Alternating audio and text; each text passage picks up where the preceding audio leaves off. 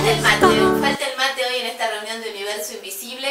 Bueno, Emir, que ya lo conocen y que hace poco le hicimos una nota, que la, seguramente la vieron. Hace poco, hace dos Obli- minutos.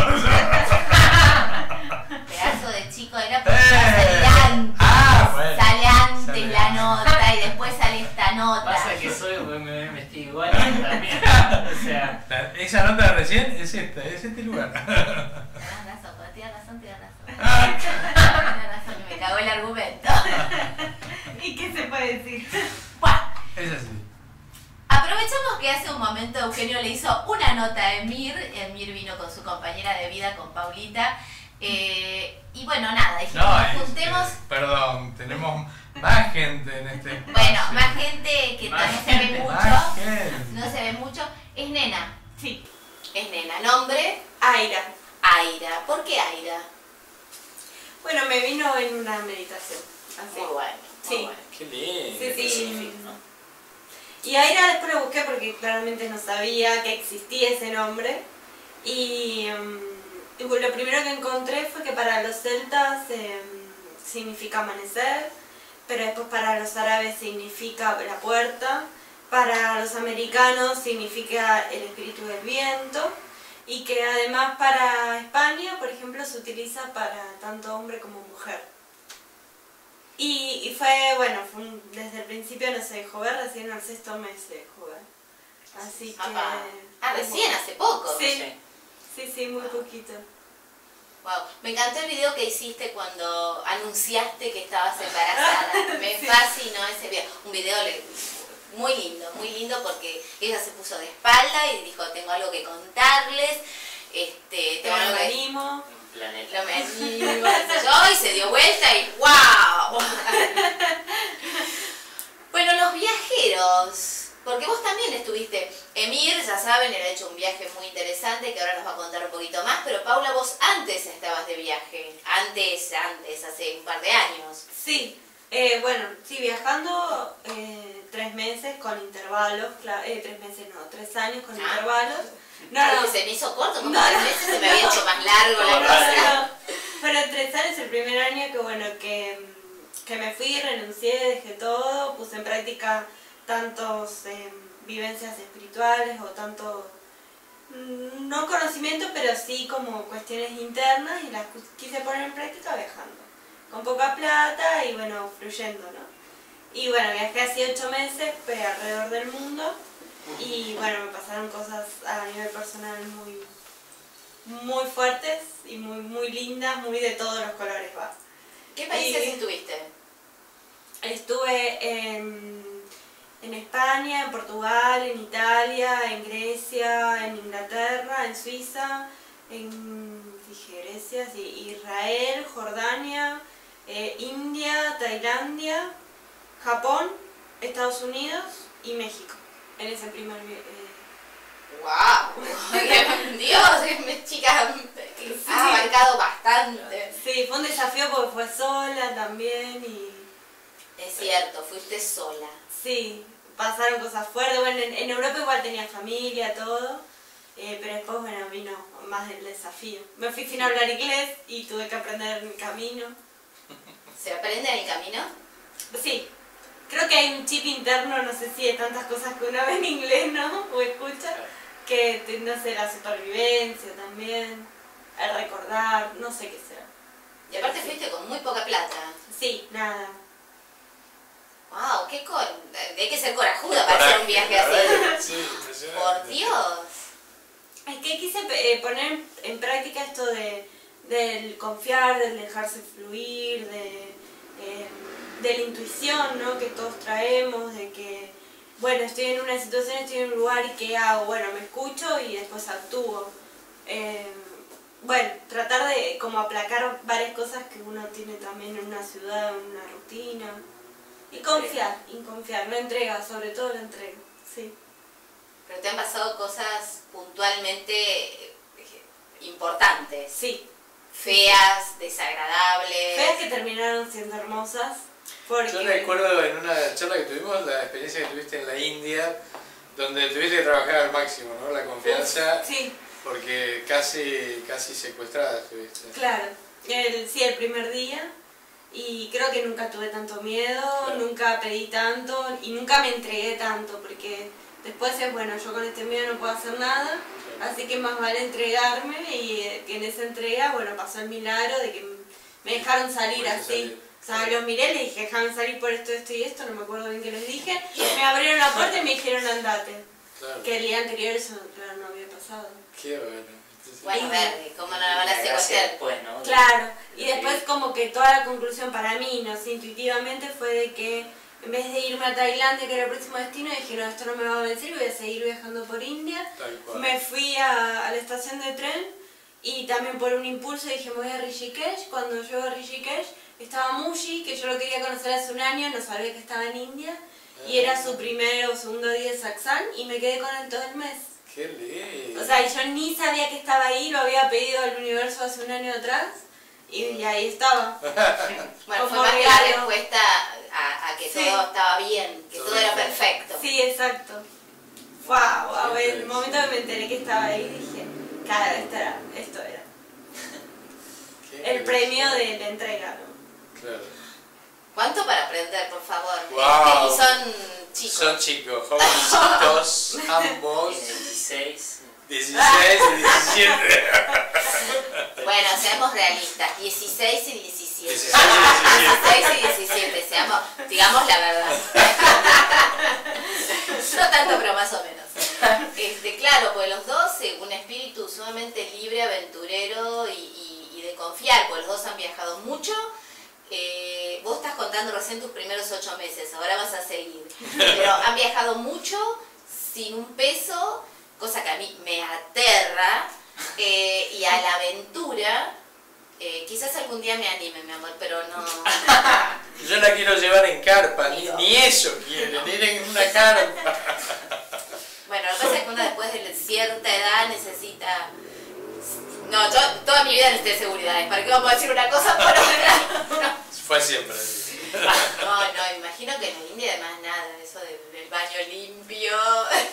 No, bueno, en Rishikesh era o sea, todo súper tranqui, pero en Delhi sí no. No, no, no. Es otro planeta. Yo creo que India manifiesta mucho tu estado interior, ¿no? Claro, O sea, yo que quería practicar la entrega, bueno, India puntualmente me hizo practicar la entrega. claro. Y así creo que le pasa a todos, porque todos tienen una historia distinta India. Sí, la India creo que es una experiencia fuerte para cualquiera, ¿no? Sí, Cada uno lo que tendrá que vivir, ¿no? Como Sí. que te refleja más que otros lugares. totalmente. Eh, el lago Titicaca también es muy fuerte, ¿no? Como esta Fuertísimo. polaridad oriente-occidente, Nepal y Titicaca, creo que son dos lugares donde te ves enfrentado a, vos mismo, ¿no? A Sí. tu propio ego, tus miedos, tus inseguridades. Así que bueno, y el viajar en sí mismo ya también te expone, como vos decías, en la nota que hicimos hace un rato, el viajar te expone a, porque al salir de tu, de tu nivel de comodidad te, te empieza a enfrentar a las cosas más profundas, ¿sí? Está bueno, es lindo viajar.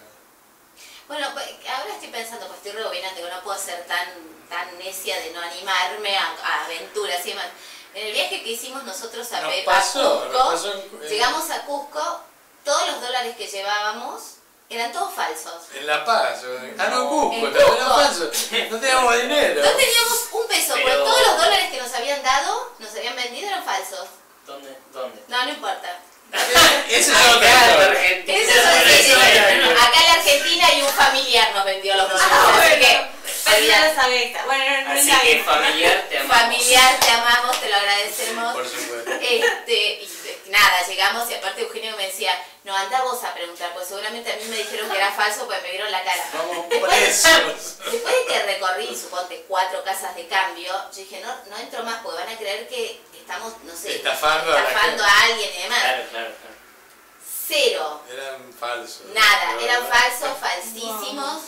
Así que bueno, eh, tarjetas de crédito y después nos costó tener que vender el auto para poder cubrir todo eso porque, Claro. o sea, fue todo un viaje. No suspendimos el viaje, seguimos adelante con el viaje. Eugenio, eh, de ahí íbamos a Bolivia porque Eugenio tenía que dar talleres y demás, pero servía ese dinero para seguir más o menos eh, estando y haciendo lo que teníamos. No dejamos de hacer nada de lo que queríamos hacer. Nada. Qué experiencia. Pero en ese primer momento fue un... ¿Y ahora qué hacemos? Y viste que se te empiezan a cruzar toda la familia, gente conocida, todos los que tenés a los que podés llegar a recurrir. Claro, Sí, claro, sí, claro. sí. ¿A quién llamo? Y después Por bueno, eso- lo resolvemos con la tarjeta, bueno. Lo- Los que están mirando, si creen que el dinero es una excusa para no viajar, ya sabemos que no. No. No hay, no excusa de dinero. ¿Y sabes qué? El viajar. Ni miedo. siquiera pasa por ahí, de hecho, ¿no? Totalmente.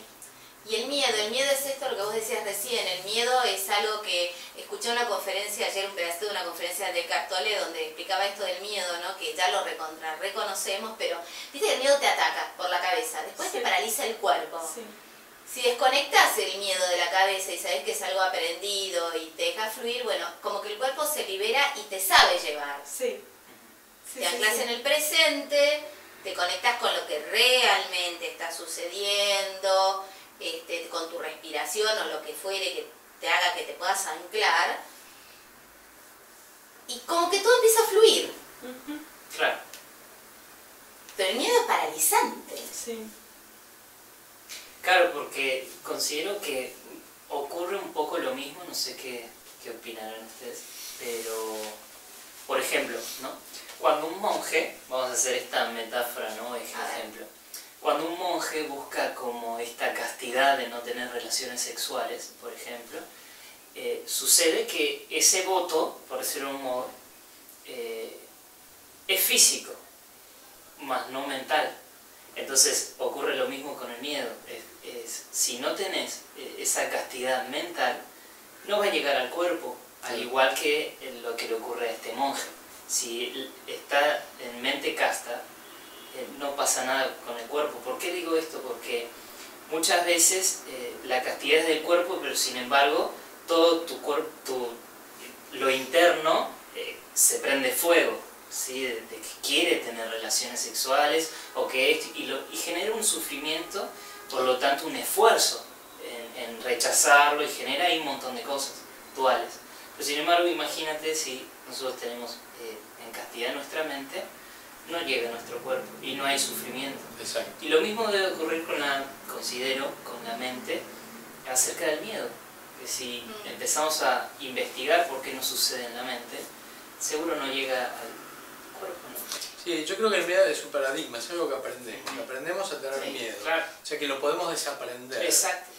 Y como ejemplo a veces pongo esto, ¿no? Si baja un marciano y, y vos estás con un cuchillo y lo amenazás con un cuchillo, ¿por qué debería sentirse amenazado? Si él Claro. no sabe cuáles son los códigos de la Tierra. No tiene idea. Sin ¿qué es embargo, en la Tierra eso sería una amenaza y un motivo para tener miedo. Entonces el miedo es aprendido y se puede desaprender. Desaprender es esto, ¿no? Confiar, entregarse, respirar profundo y, y cambiar ese chip mental que dice que algo puede representar una amenaza. Exacto. Es algo, pero eh, ¿por qué tiene que ser una amenaza? Puede ser una, una, eh, posibilidad de cambio, puede ser una posibilidad de aprendizaje, puede ser una ventana de oportunidad, como se dice normalmente. Entonces, eh, algo que parezca que es temible, a lo mejor es una ventana de oportunidad. Entonces, Bueno, como esto que le pasó. Pero Paula es le- una apariencia, ¿no? Claro, es una apariencia, totalmente, es una a. Paula le pasó, porque le pasó por todo eso y sin embargo nada la, pa- la paró, siguió Por viajando. supuesto, pero la hizo trabajar con eso y decir, bueno, acá no está pasando nada que me amenace, y de hecho Exacto. le abrieron la puerta. Sí, claro, porque es como una... Sí, es una de sacar las creencias, ¿no? Sí. Una vez que borró la creencia, le abrieron la puerta. Hasta que Bueno, hay una película fantástica que habla de eso que es B, B, eh, V de Victoria. B de Victoria, V B de, co- B corta, que es que además la deben haber visto mucho, eh, que el, todo el protagonista es está con una máscara Sí, blanca, sí, con un sombrero negro y una capa negra. Y B de venganza. B de venganza. V de venganza, No, bueno. muy bien. Muy bien. No, no nos hagan caso cuando B digamos la película. B de venganza, ¿no? B de victoria, dijo. Bueno, pero en realidad era la victoria de sobre el miedo.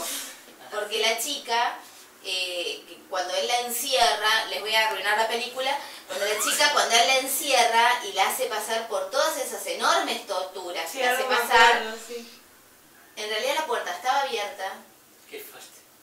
eh, ella abrió la puerta y salió cuando ella atravesó su propio miedo y se entregó. Y él la libera, no es que la libera, nunca la tuvo atada, era su mente, o sea, ella le decía, pero me torturaste, me hiciste esto, me hiciste... No, le dijo, te hice libre. Porque no había nada y ella atravesó su miedo y ahí pudo, bueno, hacer todo el resto de cosas que hizo. Dijo No, le va con- no va a contar el resto, no va a contar el resto. Entonces morir. No, no. Entonces la venganza se transforma en victoria. Ahí va. Sí, de hecho es, es sumamente importante porque justamente se, todo eso se gesta en el mundo ideal.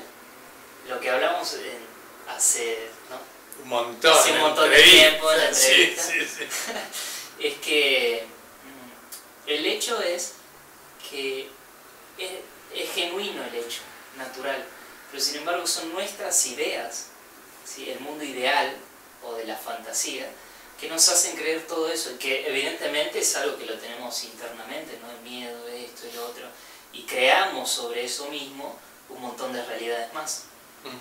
Pero el miedo no nace con nosotros, porque vos fíjate si no los, niños, los bebés, meten los dedos en los enchufes, se asoman a los balcones, se ríen de todo, ¿no? o sea, nada les que todo el mundo lo- los va a retar y así, el chico lo mira y se empieza a reír, como diciendo, Y ahora, ¿por qué el, el niño es de esa manera? Considero que es por el hecho de que no tiene condición. Al no tener condición, eh, no sabe de eso. No tiene límite. No tiene- entonces es genuino, su hecho es natural. Total. O sea, uno nace, el, el hecho de- de- del nacimiento es genuino y natural. De resto, son traducciones, de resto son eh, conceptos, límites y un montón de cosas. Luego viene la cultura que le impone, bueno, cuidado con esto, cuidado con lo otro, hay que tener esto. O sea, todo eso ya es cultural, ¿no? Y la cultura nace de una costumbre. Sí, Y una costumbre nace evidentemente de esta es tradición. una tradición. Entonces, mi abuela dijo hace 300 años que tal cosa. Abuela. Qué vieja tu abuela. Bueno, bisabuela, no sé cómo Ay. sería ahí. Pero, pero en ese caso, Qué longevos tu familia. sí, vivimos 200. 200, 300. Eh, pero sin embargo, mm, todo eso aparece por esa, justamente esta cultura que se hizo costumbre. Algo que pensamos que es verdad, como este hecho del miedo, que lo, lo aterrizamos tanto que decimos es verdad, existe tal y tal cosa. No sé si vieron esto de cómo se crea un paradigma, ¿no? En donde hay un grupo de monos y hay una escalera, y al final de la escalera hay bananas. Entonces, obviamente, los monos suben la escalera y toman bananas y las, y las, y las comen. Hasta que aparece uno de los que está experimentando con estos monos y cuando el mono sube, agarra una manguera a presión y el mono se ve amenazado por la manguera y tiene que bajar, no puede tomar la banana. Y con todos los monos empezó a ocurrir eso, con el tema de la manguera, y empiezan a cambiar monos por monos nuevos, que no saben. Pero cuando el mono sube, los otros le dicen, no, no subas porque eso es peligroso, sin que hubiera ese- la amenaza de la manguera, y queda instalado de que subir la escalera para tomar una banana es peligroso. Y ahí se creó el paradigma. Y, y quizás aquel que era nuevo no es por la manguera, sino porque los otros le dijeron. Los otros Claro, le por eso dijeron, se crean dijeron. La manguera ya no estaba, Claro. nosotros le dijeron y quedó instalado de que eso era peligroso. Y nadie nunca más Entonces, subió a buscar la banana. paradigma y así todo el tiempo. Es muy interesante porque esto nos pasa todo el tiempo. Sí. Bueno, atravesaste tu miedo, sí, yo sigo con el viaje. Atravesaste tu miedo, seguiste, te fuiste, este, eh, estuviste en un retiro un mes.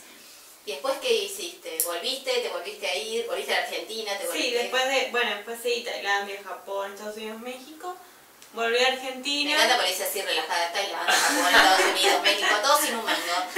Así, como de la vida me iba dando, sí, todo, ay, oh, pero obvio, como yo digo, claro, ¿no? obvio, o sea, a ver, No, no, bueno, en, en ese momento, si bien yo eh, había tenido como muchas demostraciones esto de que confía porque te estamos abriendo todas las puertas, cada día igual era un, un aprendizaje nuevo y era volver a entregarme a ese confiar, ¿no? Eh, te hago vos que has vivido la experiencia, porque a mí me gusta hablar desde la experiencia, no desde la lectura. Viste, lo lees del libro es una cosa, vivir la experiencia es otra. sí. Eh, esto de atravesaste una cosa, ah, listo, la atravesaste definitivamente. No, atravesaste esta cosa y tiempito después te vuelven a poner a una situación igual a ver si realmente la atravesaste. ¿Es? Totalmente, no solo en ese viaje, sino los dos años siguientes, inclusive viajando con Emir todo un año, eh, acompañando su proyecto, sí, volvieron a aparecer cosas parecidas eh, que pude haber sorteado de la misma manera, o sea, que me fue tan bien o no, ¿no? Es como, si lo aprendes, si lo haces consciente, si hay una parte tuya que sabe que las cosas no son como, como, Como te enseñaron, claro. Pero, pero sí, las pruebas siguen estando ahí. Solo que eh, creo que más chiquitas. Y las vol- podés volver a pasar mucho más rápido también. Ah, me gustó esto, se me hizo la imagen como que la primera vez que te toman ese examen es así Claro. grandote. Después pasa a ser más chiquito, más chiquito, más chiquito, más chiquito, hasta que logras que desaparezcan. Y lo puedes reprobar, ¿eh? Te digo. Sí, seguro. Sí, o sea, volver a reprobar. eh, lo haces consciente, bueno, listo. Tampoco es autocastigarse, ¿no? O sea, es como... Y después te puede volver a pasar y lo volvés a rendir bien. Es como que emocionalmente también vas pasando muchas cosas internas, ¿no? Y quizás en ese momento estás preparado para pasar el examen y en otro momento no. Porque, bueno, son muchas capas internas que uno va, va transitando, creo. Pero está, ese recuerdo está que es lo importante. Sabes que alguna vez caminaste por ahí.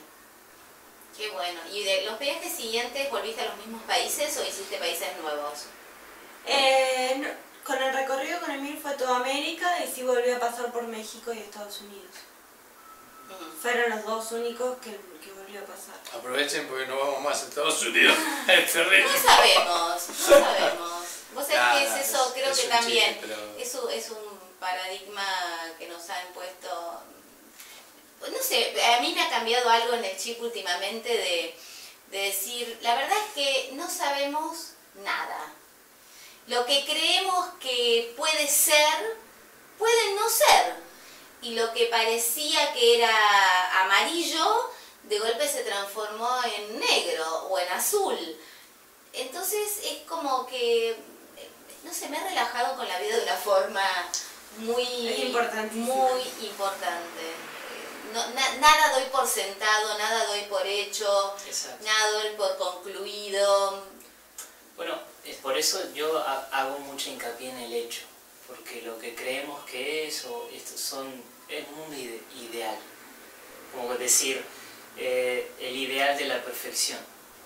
Y ya cuando se hizo ideal, ya no es perfección, es lo que creo, o lo que tú crees, Tal o lo cual. que ella, y es lo que Aira cree, eh, y así. Entonces, eh, la verdad es que el hecho ya de por sí es perfecto.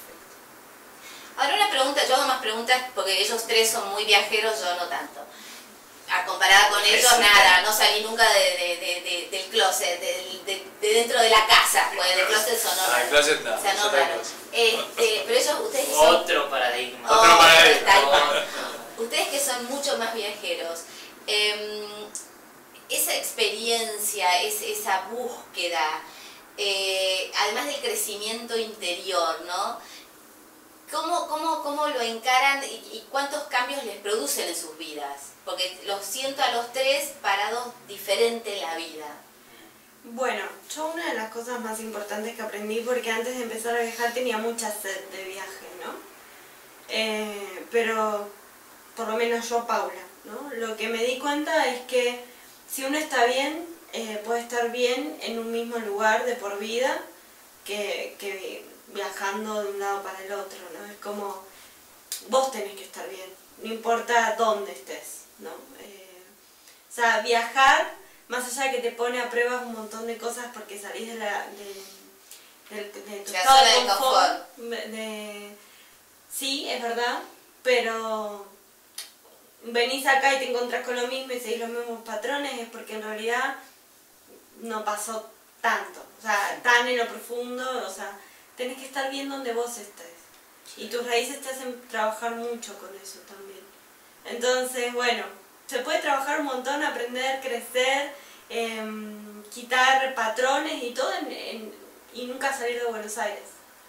O sea, hay varias maneras y cada uno tiene su propio manual, digamos. Yamir, Eh, Bueno, mm, bueno, todo lo que es, así muy fácil de decirlo, digamos, que todo lo que había aprendido, nada me había resultado. o sea, no, hablando eh, con responsabilidad. Seriamente. Seriamente. Vean el otro video para saber de lo que estamos Sí, hablando. Claro. Eh, bueno, es que, bueno, en medio de los Himalayas, yo estaba ahí en Nepal, entre Nepal y Tíbet.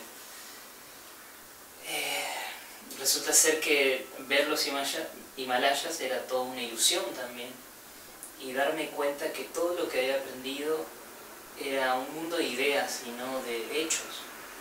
Entonces eh, fue como tenía que volver a, a aprender, es como decir aprender a aprender, ¿no? Aprendamos. Eh, empezando desde muy lo básico de allí, ¿no? Y hay algo que sí me marcó mucho, que fue el hecho de olvidarme de toda la memoria, Ah, bueno. olvidarme de, de toda mi memoria y solo estar acá. Sí, eso fue lo que aprendí y bueno, que va muy por el lado de lo que decía Paula también, recién ahora, de que va más o menos por ahí del hecho de como la autorrealización, el empezar a vernos tal cual, quiénes somos. Era volver a eso. Sí, porque me pregunté, ¿no? Eh, un día de lluvia en algunos de los templos por ahí, por Pokhara, que es uno de, de Nepal, en una zona, eh, dije, ¿qué es lo que quiero realmente? Sí. Y, y me di cuenta que no quería nada, nada. Entonces, era también de entender esto de la profundidad con la cual observamos las cosas. Eso creo que fue uno de los aprendizajes mayores que tuve, ¿no? El- la profundidad que le damos a cada cosa. Es muy importante eso para mí, en este momento, digamos. Wow, qué interesante. ¿Y vos, Morcito? Eh, mi ¿Tu experiencia viaje? de, de viajero. No eh, cambiarle más dólares a nadie. Además, Bueno. ahora me encargo yo. Empezando por ahí. Empezando por ahí.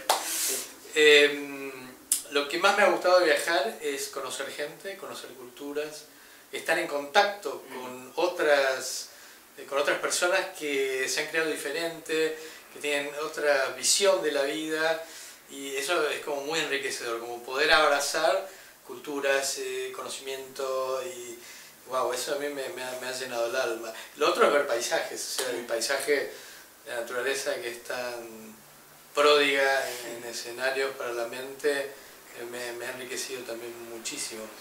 Pero también comparto esta idea, ¿no? Creo que se puede ser feliz y aprender en cualquier lugar, estando en un solo lugar o viajando. Eh, y la vida es una gran oportunidad, la vida es como una gran oportunidad de, de autorrealizarnos, de saber quiénes somos, de saber a dónde vamos, no porque nos, nos proyectemos en el futuro, saliendo del presente, Claro. sino de saber eh, cuál es nuestra raíz energética, cuál es nuestra esencia. Exacto. Y si podemos encontrar esa esencia, wow, creo que tenemos la vida resuelta. Es como decir, Sí. que ahora qué fácil que es todo. Ahora al fin y al cabo sé quién soy y sé que, que, aunque no sepa nada, como vos que perdiste las memorias, porque no saber nada también es tener una memoria. Es una memoria Claro. del recuerdo de esa simiente que está en el centro de la vida, del universo, del todo, ¿no? Es, es la gran profundidad a la que queremos llegar, seriamente. Lo digo, lo digo seriamente. seriamente, lo digo seriamente. Puso serio el puse serio. risoterapia. Eh, ¡Ah! Eh, así que bueno, un poco. Pero igual este, lo que ustedes me dicen, ¿no? De las culturas y demás, pero en esencia, cuando vos vas más profundo en esas culturas y demás, en esencia, ¿hay diferencias? ¿Hay fronteras? ¿O todos ante ciertas situaciones, estés donde estés, actuamos igual? Sí, hay un lenguaje universal, hay Sí, un sí. lenguaje universal. Uno es la sonrisa, el otro es el amor, el otro es la, la fraternidad, o sea, somos básicamente hermanos en todos los lugares donde estemos. Y eso, bueno, en lo profundo se puede percibir. Y no verlo como, uy, esta raza, este otro, esta cultura, esta otra, o sea, A eso iba, o sea, si, si Sí. rescatásemos Sí. Todo el mundo en el, en- el planeta completo, rescatásemos esas tres cosas, amor, fraternidad eh, no sé, Sonrisa, es- amabilidad. sonrisas, risas, eh, esa esencia real, desaparece todo el resto. Sí, eh, Desaparecen las fronteras, desaparecen los colores, desaparecen las, los- las costumbres, eh, las riquezas, la pobreza. Pasamos a, a ser todos iguales. Y se está Sí. viendo también.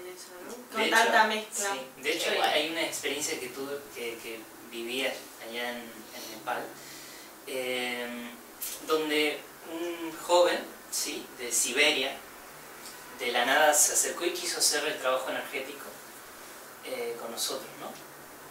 Y resulta ser que, claro, a él, a él le costaba hablar inglés, porque imagínate, es como ruso lo que hablan, ¿no? Sí, sí. Eh, y fue realmente el, el estar en, una- en un silencio sublime, pero entendernos. Porque ahí me di cuenta de algo, que es el hecho de que, ¿por qué no hay esa comunión? Por el hecho de que nos identificamos con un montón de cosas. El identificarme con clases sociales, con países, patriotismo, con esto, con aquello, Sí, sí, las razas, fronteras, bla, bla. Entonces, en ese momento era desidentificarse de todo, reír juntos, y ni sabíamos de qué nos reíamos, honestamente, eh, pero era eso del abrazo también, el amor, con todo lo que ustedes acaban de decir recién, era eso lo que vi. O sea, decir, qué increíble. O sea, realmente ese es el lenguaje universal. ¿no? Bueno, La pero es que me amor. recordás a esta gran anécdota de la Segunda Guerra o de las guerras, que en la época de las fiestas, cuando hay un, un pequeño lapso de, La eh, tregua. de tregua y demás, salen de las, trin- de las este, trincheras, eh, tantos, no sé, los que se estaban matando hace cinco minutos salen, se abrazan, se preguntan por qué nos estamos matando, feliz Navidad, se muestran fotos de las familias y demás, terminó la tregua, cada uno vuelve a su frontera y ya se vuelven a, a- a- matar y vos decís, y, y ellos se preguntan, ¿por qué si es igual? Bueno, hay una canción de Porcheto, no sé si ustedes, ustedes no sé si conocen a Raúl Porcheto, un cantante de ¿Pero por qué lo nuestra época, porque es de nuestra época, Raúl. Y hay una canción maravillosa que es la canción este, que se hizo para Malvinas, que fue muy famosa, donde dice, o sea, se preguntan, ¿por qué nos estamos matando? Si somos igual, sos igual a mí, este, y amamos todos este lugar, ¿por qué nos estamos matando? ¿Cuál es la razón? Nos mandaron a... Pero pasando acá? Son igual a mí y aman este lugar tan lejos de casa. Entonces, eso me gusta, ¿no? Que, que ustedes que han viajado y lo han podido ver más in situ, eh, en realidad somos todos exactamente iguales. Ah, Hubo un programa en Telefe que ponían a familias en distintas tribus y en África, en Indonesia y demás. Y obviamente hablaban otro idioma y las ponían poner familias de acá de Buenos Aires por un mes. A hacer eh, todo lo que ellos hacían, a vivir su, su costumbre, ¿no? Y imagínate, casi todo el mes sin hablar el mismo idioma, porque, o sea, y al final de todo eso, si bien ya se entendían con palabras porque habían hecho un mínimo diccionario, vos, viví- vos veías que tanto para la tribu como para la familia se analizaban de la misma manera, veían, vos sabían lo mismo y uno fue criado en el medio de la selva y el otro fue criado en el medio de la ciudad, o que se enamoraban entre ellos, los chicos de la tribu con las chicas de, de- de la familia de acá. Entonces vos ahí ves que, y el nerviosismo con el que encaraban el, el tema del, del enamoramiento, ¿no? Entonces vos ahí entendés que el- el- eh, los patrones in- internos de emocionales son los mismos. Después culturalmente puede cambiar, pero lo que uno siente es lo que siente el otro. Y eso también te lleva a ser empático con las otras personas, porque cuando vos entendés desde la emoción que puede vivir por pasar alguna circunstancia parecida, tanto la vida como la muerte, como, un- como lo que sea que te pueda pasar, entendés al otro, porque la emoción es la misma. Ya, bueno, ves, este, debe- debemos, debemos apuntar a eso, a, a- a volver a encontrar ese espacio. Bueno, lo interesante es que los que defienden la teoría darwinista de la evolución de las especies hablan de que el humano es obra de una casualidad por poco de, de la biología. Y en realidad eh, si fuese así, debería haber cantidades de humanos diferentes, diferentes especies. Pero la humanidad es una sola especie, en cambio la naturaleza tiene varias millones de especies, tanto de animales como, como de vegetales. Entonces, eh, el humano no es un azar biológico, el humano es una experiencia espiritual en la tierra y seguramente sembrada por hermanos mayores, seguramente hecha con un fin que tiene que ver con el reconocer nuestra, nuestra esencia. Sí, la verdad es que eh, esto de la teoría darwinista, en lo- o sea, investigando un poco eso, hay un montón de cosas sin sentido. No hay que decirlo tal cual. Sí. Hay no que decir sentido. que casi un, un absurdo decir, por ejemplo, que los negros eran inferiores o que las Claro. mujeres, eso es absurdo. No, sea, las mujeres no sé. Eh, esta parte la cortamos. No se la metan, no cortamos. ¿Qué sería de ustedes si nosotras no estarían acá? Ah, sí. Mirá, no estarían acá. Mirá. Aira. Yo cuando dijo Aira, digo, es el, es el femenino de aire. Aira. Aira. Malo, el chiste es malo. Pero dijo con los vientos. Para por los americanos. Con El espíritu del viento. Espíritu Santo. Y yo me la volé un poco igual el viento. Porque yo ¿Por le- qué? el segundo nombre es Saraswati. Ah, bueno, ahí ya ¿Le está. vas a poner Uy. Saraswati? De segundo nombre. Si no, Y ahí no sí. ¿Le vas a No, no, no, traducímelo, traducímelo. No, no, traducíse- traducímelo. Es la diosa del conocimiento, Saraswati, la madre. Por favor, no termines diciéndole Sara, porque para, para que No, tanto no. Saraswati Sarita. El primer nombre va a ser Aira. Ok. Mirá. Diosa del. Qué bueno. Sí, bueno, qué lindo. pasa que- Bueno, todos viajaron mucho, todos viajaron mucho, pero nadie estuvo en el único lugar que a mí me interesa conocer. Escuchen esto. Esto es una primicia internacional. ¿Cuál? A mí el único lugar del planeta donde me interesa ir y lo siento así como una cosa muy, muy profunda es Mongolia. Próximo año voy. ¡Vamos todos! Vamos. Vamos a Mongolia. Mo- Vos sabés que, está bien, mi padre era ruso, pero del sur de Rusia, y alta. Claro. Más europeo. Pude no entender, claro, de to- sí, absolutamente europeo, pero pude entender, por ejemplo, por qué mi conexión tan profunda en Salta. En Salta, en Bolivia, en Perú, los rasgos de las Son personas muy- son sí. muy parecidos a los rasgos de los mongoles. Y la verdad, no me preguntes por qué, pero Sí. Mongolia, evidentemente algo en mis genes, algún gen recesivo, hay algo porque vos me decís Mongolia y a mí se me eriza la piel y es Mongolia. una alegría, es una alegría así tremenda. Es un arma de seducción, le voy a decir Mongolia. Oído, ¿no? Mongolia. ¡Wow!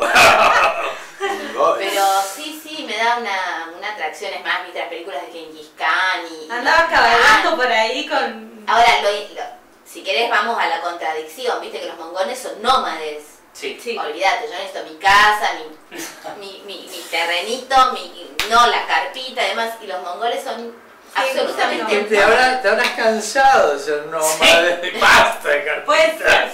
No quiero más carpita, Sí, quiero techo. Puede ser, bueno, no sé, lo Bueno, pero abierto... es vasto, ¿no? El territorio mongol. Sí, Uh, es bastante es enorme. enorme. Y bueno, aparte ocupa Asia, eh, la parte asiática y la parte europea. No, europea no, es solo asiática. No, solo pero sí, tiene. no tiene una partecita No, no, no. europea, no alcanza. Como que viene Rusia así. Solo asiática, tiene una parte desértica muy, Sí, sí, sí, muy eso impresionante. Después tiene Las una parte montañosa, bosques. Es bien diverso Mongolia, muy interesante. Como yo. Y bien bueno, diversa. vamos a aprender algo lenguaje mongol. Ulan Bator, es la capital. Ulan Sí, porque estos días he estado tanto Sí. hablando de Mongolia y él se ocupó de buscar y de mirar y, y qué hay para hacer en Mongolia. ¿Pero habrá sido un camello en esa época? Y puede ser, puede ser. Bueno, eh, lo que ¿Por qué hace. se te ocurrió ir a Mongolia? Eh, bueno, forma parte de, primero, el documental que, está- que estoy haciendo, con otras personas, por supuesto, y de la segunda etapa del proyecto Iris. Y Mongolia llegó simplemente así, Mongolia. No tengo idea tampoco, mucha idea no tengo. Pero sin embargo, investigando un poco sus montañas, y nada, hay muchas cosas ahí muy poderosas. Por otro lado, hay una, cultura, por decirlo de un modo, eh, muy interesante en sus enseñanzas. Sí. Y por otro lado, está la historia de, que me gustaría saber qué se le ocurrió a Genghis Khan, que él quería eh, como tirar abajo la religión Won. No sé si la escucharon, ¿Won era? Eh, Won, sí. algo así. Como la No me acuerdo. dinastía. Sí. Eh, no, es una religión. Mm. Eh, bueno, en no fin. importa. En fin, no me acuerdo exactamente, creo que era la región Won, que es como una rama la, y que está hace mucho antes que la tibetana del, del budismo, en donde esa religión aprendían a precipitar, a tener varios cuerpos, a manejar elementales de la naturaleza. Eran como chamanes, pero de Asia. ¿Y Gengis Khan quería derrotar Eh, eso? sí. Y no le convenía, porque le daba más poder. sino- Claro, tipo. Hay toda una, una historia ahí también Me interesante. acabas de matar a Gengis Khan. ¿Cómo va a querer? No, No era pero tan buenito. No, no, De hecho, no era buenito. Era un Gengis Khan. conquistador. Era un Sí. Era un conquistador. Vaya a su razonamiento porque a la vez quería unificar el mundo, Gengis Claro, Khan. es cierto. Entonces quería hacer Exacto. toda una misma raza. Entonces hay que ver cuál era su, su, su relación o co- cómo él... Y su verdadera motivación. Sí. Gracias Sí, a él sí. construyen la, la muralla La china. muralla. Él traía gente de todas partes del mundo para enseñarle, por ejemplo. Tenía algo de... Como... De universalista. Sí. Bueno. Bueno, ya, ya, ya descubriremos Sí. bien el mundo mongol cuando ahí. estemos todos allá. Nos vamos Con los cinco. cámara, ¿no? Sí. Nos vamos los cinco a Mongolia. ¿La vas a llevar a, las van a, la van a llevar a Aida en sus viajes? Es ¿Tienen lo estamos planeado? charlando. Pero ¿Por vos, qué? vos me dijiste que por Europa sí, Sí. por Asia y eso. Bueno, ya va a tener como más de medio año, entonces, eh, bueno, Europa me da una cierta... Ya África y Asia, claro, es como... Paradigmas, ¿no? hay que... Paradigmas, pero... No, bueno, pero ella lo vivió y... Sí, sí, sí. no. Claro, Aparte, ya lo que va a salir de ahí, yo, yo estoy intrigadísima porque No, ¿qué va a dos seres de luz, dos seres increíbles de luz, hermosísimos los dos, eh, hermosísimos físicamente, los ojos de Paula, increíbles. Eh, el- Y el- la zapatilla de Mir, ¿no? Impresionante. No, son No tenían lindas, nada, ¿no? pero son tan seres de luz que yo digo, están, o sea, fueron elegidos para traer este ser a este plano y alguna misión fuerte tiene que traer. ¿Quién sabe, no? ¿Qué- Que, que yo lo que digo siempre es que sea feliz.